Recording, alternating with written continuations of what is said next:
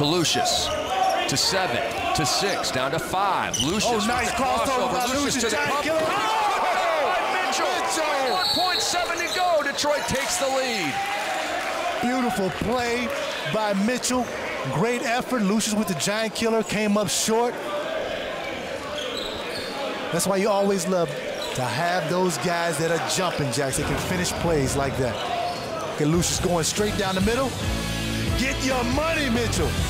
The rookie went and got it and put the Pistons up, answering the rebounded basket.